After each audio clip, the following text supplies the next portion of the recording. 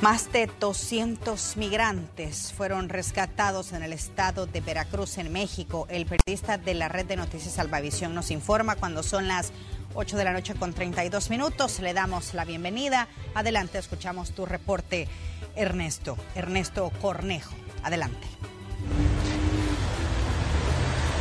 Así es, Roxana, un gusto poderte saludar y a la audiencia hasta El Salvador. En efecto, el fenómeno de la migración y sus diferentes aristas vuelven a acaparar los titulares en los principales medios de comunicación, tanto en México como en Latinoamérica. Y es que en las últimas horas las autoridades del Instituto Nacional de Migración del país azteca fueron alertados que se encontraba abandonado un tráiler. Al interior de este habían más de 200 migrantes hacinados ya en una situación bastante precaria, de acuerdo a lo que han mencionado. Eh, uno de ellos fue trasladado con un cuadro de eh, prácticamente deshidratación y asfixia. Afortunadamente se encuentra recuperando en un centro asistencial. Lo que han mencionado ellos es que fueron abandonados Inmediatamente las personas que se encontraban cerca del lugar alertaron a las propias autoridades para que iniciaran con esta búsqueda y rescate, ya que al interior cuando vieron su sorpresa eran migrantes que venían buscando el tan anhelado sueño americano hacia los Estados Unidos, como todos los casos, y vuelve a concordar. Faltas de oportunidades, la economía afectándoles, lo que ha hecho que estas personas Una situación que las mismas autoridades han mencionado que se ha incrementado este tipo de hallazgos.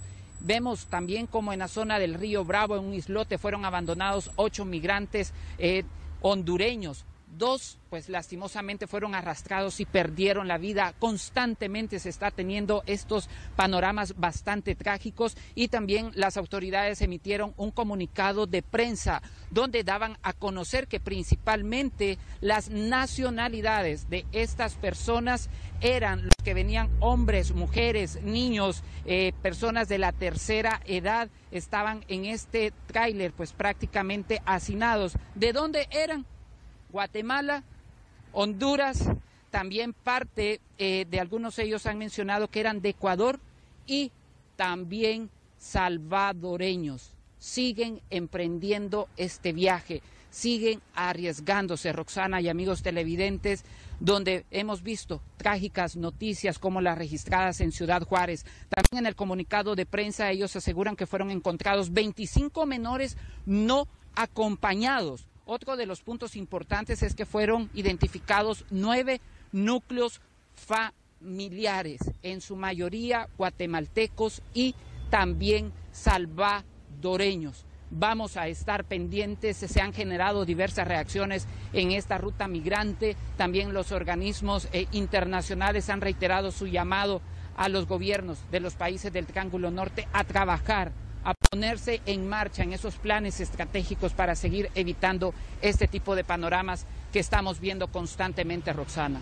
Claro, es, compleja la situación y pues eh, no hay semana en la que no tengamos este tipo de reportes de migrantes que han sido rescatados, de niños que han sido encontrados, abandonados, que viajan sin un acompañante, eh, el tema mismo de lo del incendio que, continúa pues dando sus repercusiones ya que han llegado los cuerpos a los países eh, de los afectados, bueno, los salvadoreños que les mostrábamos las imágenes, los hondureños, guatemaltecos que también murieron en ese incendio en Ciudad Juárez.